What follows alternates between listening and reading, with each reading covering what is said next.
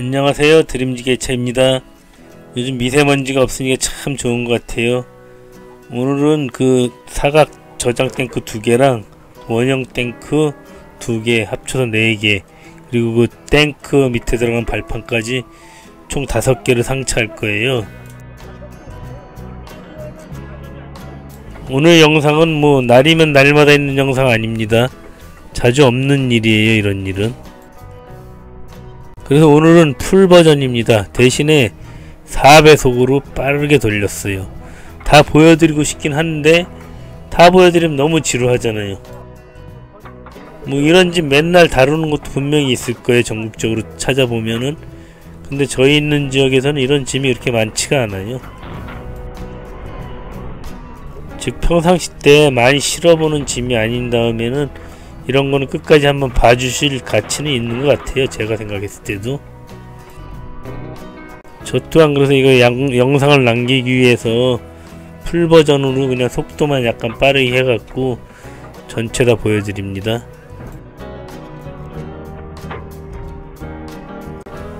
그리고 이 물건 자체가 커다란 그 마당이나 이런 창고가 아니라 놀 데가 없어서 지금 밭 위에 올려놨지 않습니까? 넓은 공간이 아니란 얘기죠. 간신히 짐 실을 공간이 있어서 다행이에요.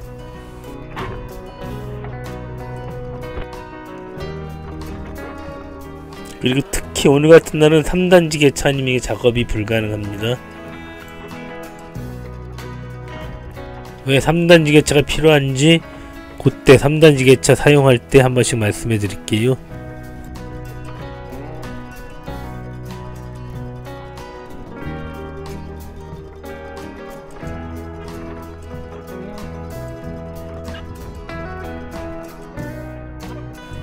그래서 요거 이쪽으로 옮겨 놓을 때보다는 지금 땅이 많이 단단해진 거예요.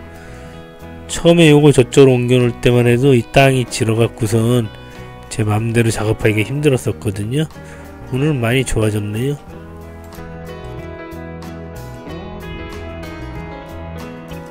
그나마 이 짐 같은 경우 찌그러지지만 않으면은 뭐 이 페인트 칠해놨어도 기스 정도라는 게 괜찮아요. 피스 어차피 나중에 그 보수로다가 페인트 칠할 거기 때문에요. 한번 살짝 살짝 기스나는 것까지 괜찮아요. 그러나 찌그러지면 안 돼요.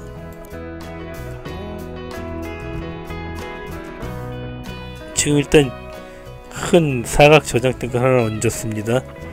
다음엔 그 이후로 이 발판을 올려야 되는데 이걸 뒤집을 거예요. 사람 둘이서 뒤집으려 그러는데 그 정도 무게는 넘어갖고 둘이서 못 뒤집습니다. 역시 이것도 지게차로 뒤집습니다. 어차피 흙바닥이기 때문에 그냥 뒤집어서 아무런 상관없어요.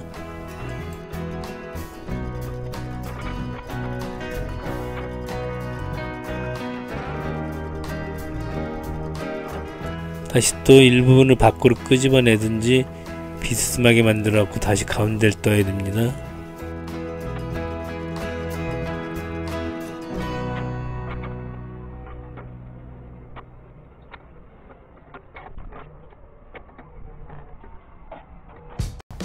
이제 이 발판을 아까 그 사각 탱크 위로 얹어야 되기 때문에 요때 3단지 개차가 필요해요.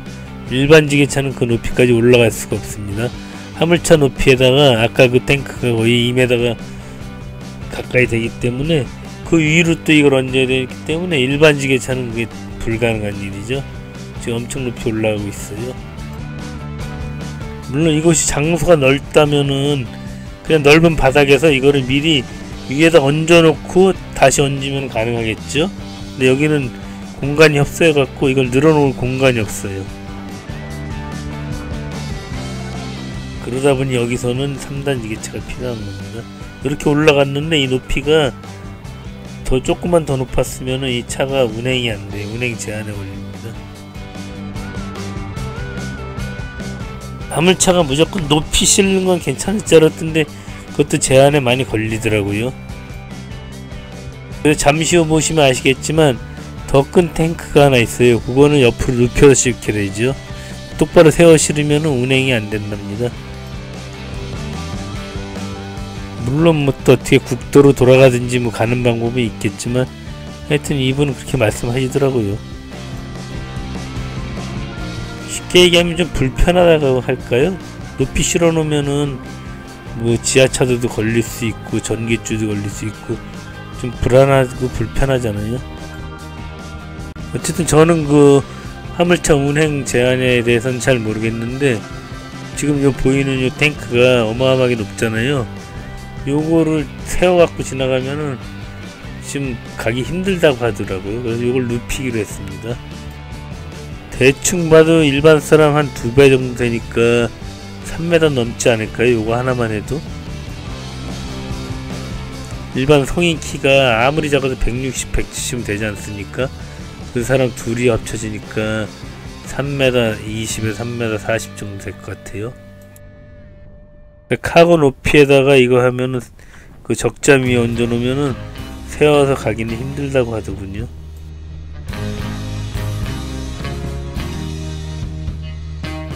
어차피 그리고 눕혔어야 해요. 이 안에다가 또 작은 그 원탱크를 타원 탱크를 넣어야 되기 때문에요. 이걸 눕혀야 돼요. 푸사를 양쪽 걸었기 때문에 안전하게 눕혔습니다. 자 이제 사정 없이 그냥 떠서 갖다 실으면 돼요. 근데 무게가 상당히 많이 나가네요. 딱 봐도 2톤 이상은 나갈 것 같아요.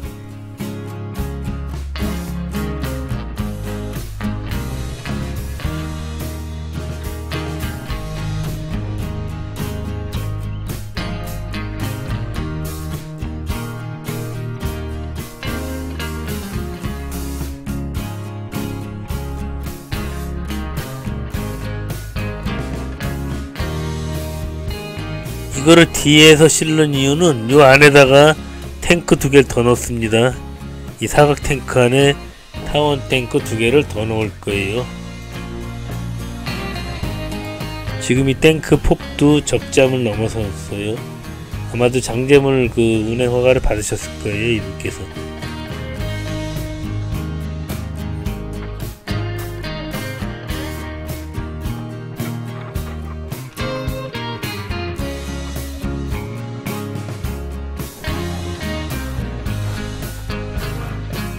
이 와중에도 그 파란 하늘을 보니까 기분은 좋습니다.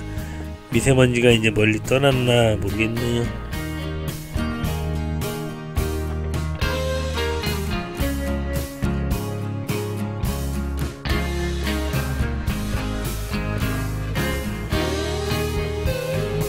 자 이제 원형 탱크 실으러 갑니다. 일단 요 앞에 있는 원형 탱크는 오늘 실을 게 아니라서 다른 곳으로 옮겨 놓습니다.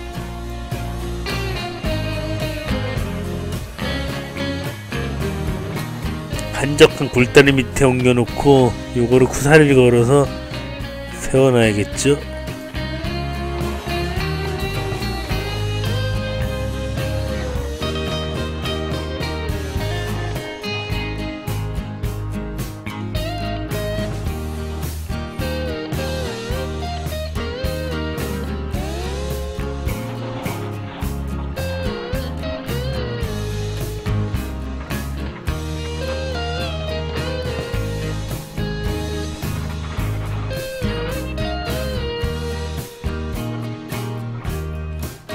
자 이번에는 원형 탱크를 차에다 싣겠습니다. 일단 이대로 가지고 나와요.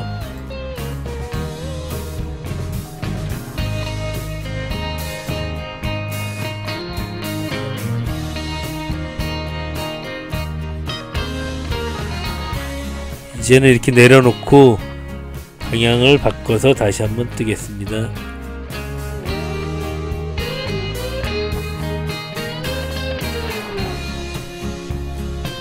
떴으면 곧바로 아까 그 사각 탱크 안으로 고고싱 합니다.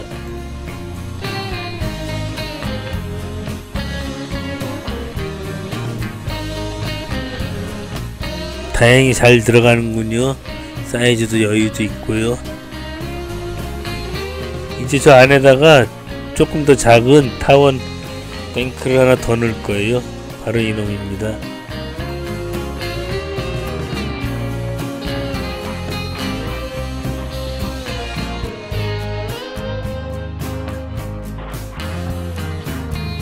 자 요것도 뜬 채로 곧바로 갖다가 아까 그 안에다 집어넣으면 돼요.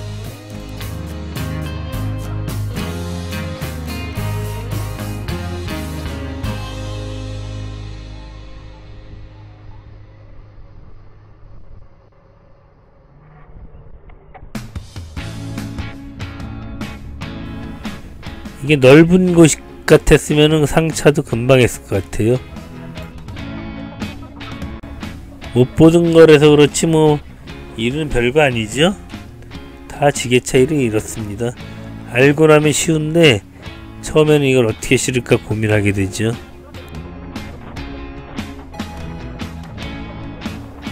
이런 짐을 이렇게 꾸려 실는다는 거는 참 재밌어요. 어떻게 보면은 테트리스 하는 것처럼 잘 맞춰서 그 화물차 적재함에 실는다는 게 재밌잖아요. 게임한다고 생각하면은 이제 무사히 상차는 다 끝났고 창고 안에 있는 사원 탱크 하나 다른 곳으로 옮겨놓으면 끝입니다.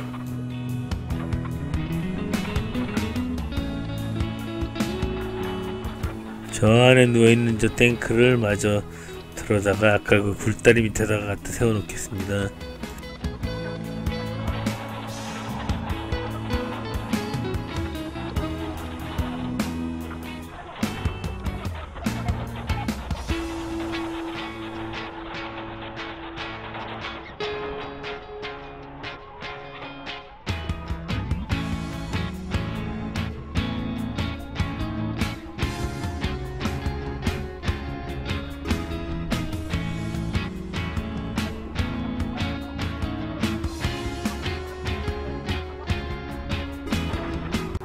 이번에는 아까와 달리 구사리 안 걸고 그냥 세우겠습니다.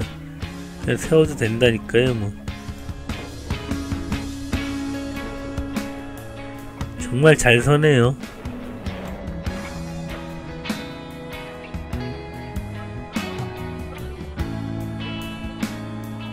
자, 이제 아까 상차해준 짐을 카고가 발을 잘 꾸릴 수 있게 짐을 바짝바짝 붙여주는 작업을 한 번 더 해야겠습니다.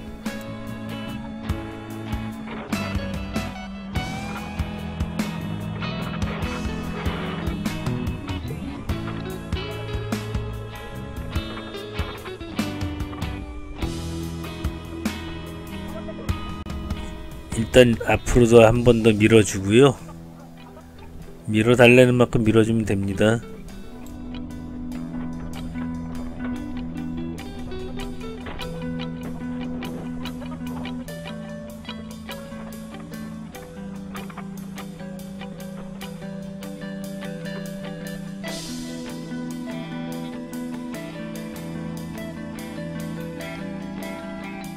지게차가 이렇게 자리 잡고 있으면 화물차가 들어오죠. 이제 이쪽에서 약간 들어갔고 저 뒤에 문짝까지 딱 붙여주면 돼요. 이걸 약간 들어서 안 밀고 그냥 이 탱크만 밀었을 경우에는 밑에 나무가 밀려갈 수가 있어요. 그래서 약간 들어서 밀어주는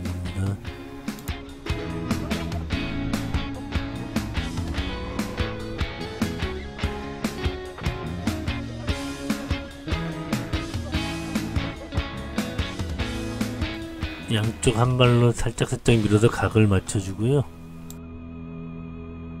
아, 한쪽이 조금 더 들어갔군요. 다시 수정합니다.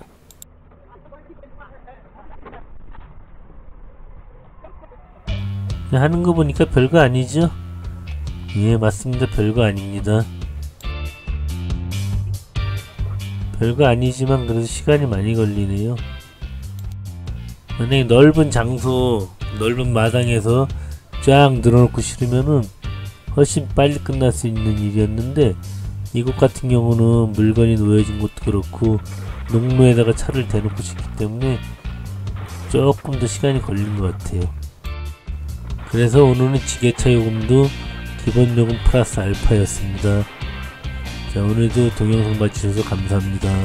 좋은 하루 보내세요.